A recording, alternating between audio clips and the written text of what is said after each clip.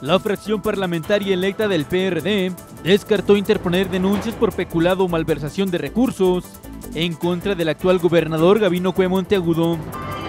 El gobernador del estado Gabino Cue Monteagudo inauguró el Archivo Histórico del Estado de Oaxaca, obra que contó con una inversión de 400 millones de pesos. Cuatro de los cinco diputados que resultaron electos por el Partido Acción Nacional en el pasado proceso electoral se registraron esta mañana de manera oficial como integrantes de la 63 legislatura.